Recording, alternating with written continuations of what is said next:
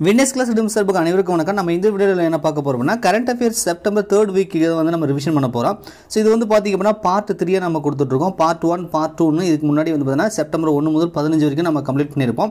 So இது வந்து பதினாறுலேருந்து இருபத்தி ஒன்றாந்தேதி வரைக்கும் நடந்த முக்கியமான நிகழ்வு வந்து தேர்வு நோக்கத்தில் கண்டிப்பாக உங்களுக்கு ரிவிஷன் பர்பஸ்க்காக கொடுத்துருக்கேன். கொஸ்டின் பேப்பருக்கான பிடிஎஃப் லிங்க் டிஸ்கிரிப்ஷனில் இருக்கேன் நீங்கள் டவுன்லோட் பண்ணி டெஸ்ட் எழுதிட்டு அதுக்கப்புறம் வீடியோ பார்த்தீங்கன்னா உங்களுக்கு முழுமையாக வந்து ரிவிஷன் பண்ண மாதிரி இருக்கும். ஒரு இருபது முக்கியமான நிகழ்வு வந்து டிஎன்பிசி காவலர் தேர்வு மெட்ராஸ் ஹைகோர்ட் எக்ஸாம் டிஎபி இது போன்ற அனைத்து விதமான போட்டித் தேர்வுக்கும் பயனுள்ளதாக நம்ம எடுத்திருக்கோம் ரைட்டா ஸோ முதல் கேள்வி பார்க்கலாம். கீழ்கண்ட எந்த நாட்டில் உலக திருக்குறள் மாநாடு நடைபெற இருக்கிறது அப்படின்றாங்க. இது வந்து செப்டம்பர் இருபத்தெட்டு முதல் தொடங்குறதா சொல்கிறாங்க இது வந்து பார்த்தீங்கன்னா எங்கே தொடங்க போகுது அப்படின்னு பார்த்தீங்கன்னா கம்போடியா. கம்போடியா என்பது இதுக்கு வந்து சரி. இந்தியாவின் முதல் கடற்பசு பாதுகாப்பகம் எங்கு அமைக்க அமைக்கப்பட உள்ளது அப்படின்னு சொல்லி கேட்குறாங்க ரெண்டாவது வந்து பார்த்தீங்கன்னா பாக் விரிகுடா அப்படின்னு இருக்கு இல்லையா? ஸோ அதுதான். நம்ம தமிழகத்தில் தான் அந்த பக்கம் கீழே. பாக் விரிகுடா அப்படின்றது தான் இதுக்கு வந்து சரி. அடுத்தது இந்தியா சார்பாக ஆஸ்கர் விருதுக்கு பரிந்துரை செய்யப்பட்டுள்ள படம் எது அப்படின்னு சொல்லி கேட்குறாங்க ஸோ இது வந்து பார்த்தீங்க அப்படின்னா இந்த படம் செல்லோ ஷோ அப்படின்னு இருக்கு இல்லையா? இந்த படம் தான் வந்து பார்த்திங்கன்னா ஆஸ்கர் விருதுக்கு பரிந்துரை பண்ணியிருக்காங்க. பார்க்கலாம். இந்தியாவின் முதல் ஸ்வச் சுஜல் பிரதேசமாக எந்த மாநிலம் அல்லது யூனியன் பிரதேசம் வந்து அறிவிக்கப்பட்டுள்ளது அப்படின்னு சொல்லி சொல்கிறாங்க ஸோ இது வந்து பார்த்திங்க அப்படின்னா அந்தமான் இருக்கு இல்லையா? அந்தமான் நிக்கோபார் தான் பார்த்திங்க அப்படின்னா இந்தியாவின் முதல் ஸ்வச் சுஜல் பிரதேசமாக அறிவிச்சிருக்காங்க. உலக மல்யுத்த சாம்பியன்ஷிப் போட்டியில் நாலு பதக்கங்கள் வென்ற முதல் இந்திய வீரர் வந்து யார் அப்படின்னு கேட்குறாங்க ஸோ இது வந்து பார்த்திங்க அப்படின்னா பஜ்ரங்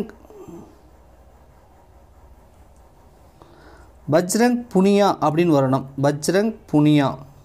ஸோ இங்கே தாகியான்னு இருக்கா? இது வந்து பார்த்தீங்க அப்படின்னா பஜ்ரங் புனியா அப்படின்னு வரணும். ரைட்டா சரி உங்களுக்கு நான் எடிட் பண்ணி கொடுத்துட்றேன். ஃபஸ்ட்டு ரேட் தான் அதுக்கப்புறம் வந்து புனியா அப்படின்னு வரணும். ரைட்டா சரி.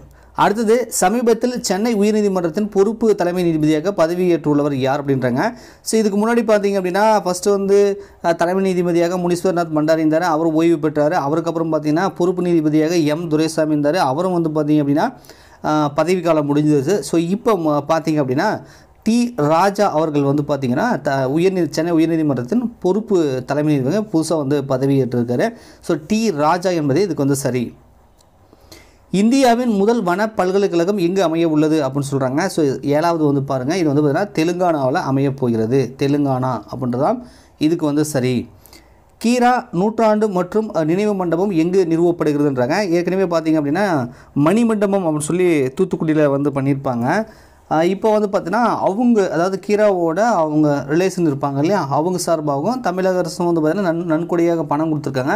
இவங்களும் வந்து சேர்ந்து பார்த்திங்க அப்படின்னா நூற்றாண்டு மற்றும் நினைவு மண்டபம் வந்து கட்டுறாங்க. அது எங்கன்னா அதுவும் வந்து பார்த்திங்க அப்படின்னா அது வந்து தூத்துக்குடி தான். ஸோ தூத்துக்குடியில் பர்டிகுலராக எந்த பிளேஸ் அப்படின்றத பார்த்தீங்க அப்படின்னா இதுவும் தூத்துக்குடி தான்.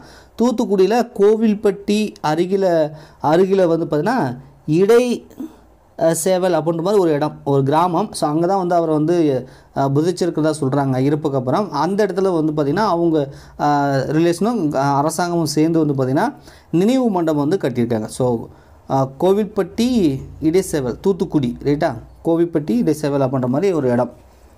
சரி தூத்துக்குடி என்பது இதுக்கான ஆன்சர் ஸோ இவர் தான் வந்து பார்த்திங்கன்னா கரிசல் இயக்கத்தின் தந்தை அப்படின்னு சொல்கிறோம் இல்லையா இவர் தான் சமீபத்தில் எங்கு நடைபெற்ற அகழ்வாய்வில் தந்தத்தால் ஆன மணி கண்டுபிடிக்கப்பட்டது அப்படின்றாங்க. இது வந்து பார்த்திங்க அப்படின்னா கீழடியில் வந்து கிடச்சிருக்கு. கீழடி அப்படின்றதான் இதுக்கு வந்து சரி.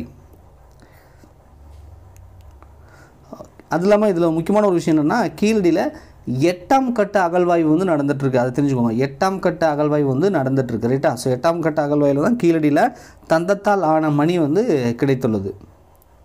ஸோ அடுத்தது அரப்பா கலாச்சாரத்தை பறைசாற்றும் வகையில் உலகின் மிகப்பெரிய அருங்காட்சியகம் எங்கே அமைக்கப்பட உள்ளது அப்படின்றாங்க. இது வந்து பார்த்தீங்கன்னா ஹரியானாவில் அமைக்க போகிறாங்க இந்தியாவின் எழுபத்தாறாவது கிராண்ட் மாஸ்டர் மாஸ்டராக உருவெடுத்துள்ள பிரணவ் ஆனந்த் எந்த மாநிலத்தை சார்ந்தவர் அப்படின்றாங்க. பதினொன்றாவது வந்து பார்த்தீங்கன்னா அவர் வந்து கர்நாடகா மாநிலத்தை சார்ந்தவர். மீண்டும் சிவிங்க புலி திட்டம் நமீபியாவிலிருந்து ஒரு எட்டு புலிகளை வந்து பார்த்தீங்கன்னா எந்த தேசிய பூங்காவிற்கு கொண்டு வரப்பட்டதுன்றாங்க. நம்ம பாரத பிரதமர் நரேந்திர மோடி அவரோட பிறந்த நாளுக்கு பார்த்தீங்க அந்த அந்த தேதியில் நமீபியா சவுத் ஆப்பிரிக்காலேருந்து பார்த்தீங்கன்னா ஒரு எட்டு சிவிங்கி புலியை வந்து கொண்டு வந்தாங்க இந்தியாவுக்கு. ஏன்னா இந்தியாவில் வந்து அந்த புலிகள்லாம் அழிஞ்சு போச்சு. அது மீண்டும் வந்து வரணும் அப்படின்றதுக்காக கொண்டு வந்திருக்காங்க. அது எந்த பூங்காவுக்கு வந்து கொண்டு வந்தான்னு சொல்கிறாங்க அது வந்து பார்த்திங்கன்னா மத்திய பிரதேசத்தில் உள்ள குனோ தேசிய பூங்காவில் தான் கொண்டு வந்து விட்டுருக்காங்க. ரைட்டா அம்பேத்கரும் மோடியும் என்ற நூலினை வெளியிட்டவர் யார் அப்படின்றாங்க. ஸோ பதிமூணுக்கு வந்து பார்த்தீங்க அப்படின்னா இதை வெளியிட்டது வந்து முன்னாள் குடியரசுத் தலைவர் ராம்நாத் கோவிந்த் அவர்கள் தான் வந்து இந்த நூலை வந்து வெளியிட்டிருக்காரு. இந்த நூலை பற்றின பல சர்ச்சைகள்லாம் நீங்கள் நம்ம தமிழகத்திலேருந்து பார்த்துருப்பீங்க. ஸோ அதுக்கு வந்து முன்னுரை அதாவது அணிவுரை அணி உரைன்னு சொல்லுவாங்க இல்லையா? அதை வந்து எழுதுந்து அணிந்துரை அப்படின்னு சொல்லுவாங்க. அணிந்துரை எழுதுந்து பார்த்திங்கன்னா நம்ம இளையராஜா அவர்கள் அணி- அணிந்துரை எழுதியிருக்காரு. வெளியிட்டது வந்து பார்த்திங்கன்னா ராம்நாத் கோவிந்த் வந்து வெளியிட்டிருக்காரு. இது யார் வெளியிட்டாங்க அப்படின்னு நீங்கள் பார்த்தீங்கன்னா ப்ளூ கிராஃப்ட் டிஜிட்டல் ஃபவுண்டேஷன் அப்படின்ற மாதிரி. ப்ளூ கிராப் டிஜிட்டல் ஃபவுண்டேஷன் ஒரு அமைப்பு தான் வந்து பார்த்திங்கன்னா இந்த நூலை வந்து வெளியிட்டிருக்காங்க. ரைட்டா ஸோ தனிப்பட்ட முறையில் இல்லை ஒரு ஃபவுண்டேஷன் தான் வந்து வெளியிட்டிருக்கு. ப்ளூ கிராப் ஃபவுண்டேஷன் அதாவது டிஜிட்டல் ஃபவுண்டேஷன் அப்படின்ற ஒரு இதாக வெளியிட்டிருக்காங்க. வெளியிட்டது வந்து ராம்நாத் கோவிந்த் அதுக்கு அணிந்துரை எழுதுனது வந்து இளையராஜா. சமீபத்திய ஆய்வுப்படி வாகன தயாரிப்பில் சர்வதேச அளவில் இந்தியா எத்தனையாவது இடம் வந்து வகிக்கிறதுன்றாங்க. ஸோ இப்போ பார்த்தீங்கன்னா சமீபத்திய நிலவரப்படி நான்காவது இடத்துல வந்து இருக்கிறதா சொல்கிறாங்க இந்தியாவின் முதல் லித்தியம் செல் உற்பத்தி ஆலை எங்கு தொடங்கப்பட உள்ளது அப்படின்றத கேட்குறாங்க ஸோ இதுக்கு வந்து பாருங்கள் ஆந்திர பிரதேசம் ரைட்டா ஸோ ஆந்திர பிரதேசத்தில் பர்டிகுலராக சொல்லணும்னா திருப்பதியில் ரைட்டா திருப்பதியில் தான் இந்தியாவின் முதல் லித்தியம் செல் உற்பத்தியை வந்து தொடங்குறாங்க ஆலை. மின்னணு வங்கி உறுதி பத்திரத்தினை அதாவது இபிஜின்னு சொல்லுவாங்க வழங்கிய இந்தியாவின் முதல் வங்கி எது அப்படின்றாங்க? இது வந்து பார்த்திங்க அப்படின்னா ஹெச்டிஎஃப்சி வங்கி ஹெச்டிஎஃப்சி வங்கி. பண மோசடி தடுப்பு சட்டத்தின் கீழ் மேல்முறையீட்டு தீர்ப்பாயத்தின் தலைவராக பொறுப்பேற்று உள்ளவர் யார் அப்படின்னு கேட்குறாங்க ஸோ இவர் தான் முனீஸ்வர்நாத் பண்டாரி நம்ம சென்னை உயர்நீதிமன்றத்தின் தலைமை நீதிபதியாக இருந்தாலே அவர் ஓய்வு பெற்றதுக்கு அப்புறம் வந்து மத்திய அரசு வந்து ஒரு புதுசாக அவருக்கு ஒரு பதவி கொடுத்துருக்காங்க. என்ன பதவின்னு பார்த்தீங்கன்னா பண மோ மோசடி தடுப்பு சட்டத்தின் கீழ் மேல்முறையீட்டு தீர்ப்பாயத்தின் தலைவராக பொறுப்பு அதாவது தலைவராக வந்து இவருக்கு இன்னொரு ஒரு பதவியை வந்து கொடுத்துருக்காங்க. ஸோ முனீஸ்வர்நாத் பண்டாரி அவர்கள் தான் இதுக்கு வந்து சரி. இந்தியாவின் பதினாலாவது தலைமை வழக்கறிஞராக பதவியேற்க உள்ளவர் யார் அப்படின்றாங்க. தற்சமயத்து கண்டிப்பாக உங்களுக்கு தெரிஞ்சும் கே கே வேணுகோ வேணுகோபால் அவர்கள் வந்து இந்தியாவின் தலைமை வழக்கறிஞராக இருக்கிறார்.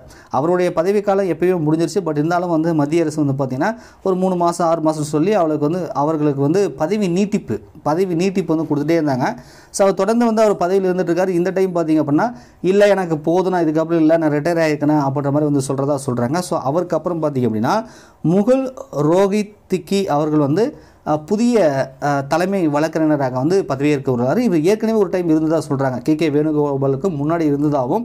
ஸோ இப்போ ரெண்டாவது முறையாக மீண்டும் அவரே வந்து பார்த்தீங்கன்னா தலைமை வழக்கறிஞராக பதவியேற்க உள்ளதாக சொல்கிறாங்க ஸோ கே. கே. வேணுகோபாலோட பதவிக்காலம் என்பது இந்த மாதம் செப்டம்பர் முப்பதாம் தேதியோட நிறைவடைகிறதுன்னு சொல்கிறாங்க இன்றைக்கி இருபத்தஞ்சு இன்னொரு அஞ்சு நாளில் க அவருடைய பதவி கம்ப்ளீட் ஆனதுக்கப்புறம் பார்த்திங்கன்னா முகில் ரோஹித் ரோஹி ரோகி ரோஹித்கி அவர்கள் வந்து பார்த்திங்கன்னா இந்தியாவின் தலைமை வழக்கறிஞராக பதவியேற்க உள்ளார்.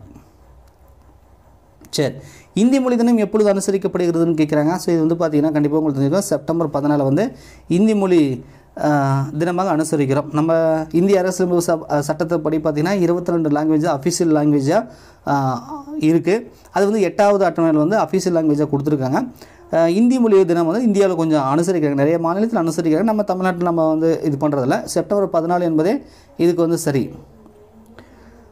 சர்வதேச மக்களாட்சி தினம் எப்பொழுது அனுசரிக்கப்படுகிறது அப்படின்னு சொல்லி கேட்குறாங்க ஸோ சர்வதேச மக்களாட்சி தினன்றது செப்டம்பர் பதினஞ்சு வந்து சர்வதேச மக்களாட்சி தினமாக நம்ம அனுசரிக்கிறோம் ரைட்டா ஸோ இருபது கேள்விகள் ஆச்சு கடைசி கேள்வி உங்களுக்கான கேள்வி. இந்த கேள்விக்கு விட தெரிஞ்சது அப்படின்னா கமெண்ட்ஸில் கமெண்ட் பண்ணுங்கள் இது பார்த்தீங்க அப்படின்னா தேசிய பொறியாளர் தினம் எப்பொழுது அனுசரிக்கப்படுகிறது? மற்றும் அந்த நம்ம இன்ஜினியர்ஸ் டேஸ்னு சொல்கிறோம் இல்லையா? அதுதான் அந்த நேஷனல் இன்ஜினியர்ஸ் டே இது வந்து யாருடைய சாதனை போற்றும் விதமாக அனுசரிக்கப்படுகிறது? ஸோ இன்ஜினியர்ஸ் டே வந்து நம்ம அனுசரிக்கிறோம். அது எந்த நாள் அனுசரிக்கிறோம்? யாருடைய நினைவாக அதாவது யாருடைய சாதனையை போற்றும் விதமாக நம்ம அந்த இன்ஜினியர்ஸ் டே வந்து அனுசரிக்கிறோம் அப்படின்றதான் உங்களுக்கான கேள்வி. கேள்விக்கு விடை தெரிஞ்சதுன்னா கமெண்ட்ஸில் கமெண்ட் பண்ணுங்கள் வீடியோ பிடிச்சா மறக்காம லைக் பண்ணுங்கள் இந்த பிடிஎஃப் உங்களுக்கு தேவைப்படுச்சுன்னா கொஸ்டின் பேப்பருக்கான பிடிஎஃப் லிங்க் டிஸ் டிஸ்கிரிப்ஷனில் இருக்குது நீங்கள் டெவலப் பண்ணி வச்சுக்கோங்க. ஸோ இதுக்கு முன்னாடி இருக்கக்கூடிய பார்ட் ஒன் பார்ட் டூ அதுக்கு முன்னாடி பார்த்தீங்கன்னா நம்ம இரண்டாயிரத்தி இருபத்தி ரெண்டு தொடர்ச்சியாக கரண்ட் அஃபேர்ஸ் கொடுத்துட்டு வரோம். ஸோ அது வந்து இதுக்கு முன்னாடி மந்தெல்லாம் நீங்கள் படிக்கணும் அப்படின்னா தனியாக ஒரு பிளேலிஸ்ட் கரண்ட் அஃபேர்ஸ் இரண்டாயிரத்தி இருபத்தி ரெண்டு தனியாக ஒரு பிளேலிஸ்ட் இருக்குது அந்த பிளேலிஸ்ட் இருக்கக்கூடிய வீடியோக்கெல்லாம் பாருங்கள் எல்லா வீடியோக்குமே பிடிஎஃப் வந்து இலவசமாக அட்டாச் பண்ணியிருப்பேன். நீங்கள் டெவலப் பண்ணி ரிவிஷன் பண்ணிக்கோங்க. அதே மாதிரி சப்போஸ் இரண்டாயிரத்தி இருபத்தி ஒன்றுக்கு தேவைப்பட்டாலுமே அதுக்கு தனியாக ஒரு பிளேலிஸ்ட் இருக்கும். அந்த பிளே பிளேலிஸ்ட்டும் நீங்கள் செக் பண்ணிங்க செக் பண்ணிக்கோங்க. நன்றி வணக்கம்.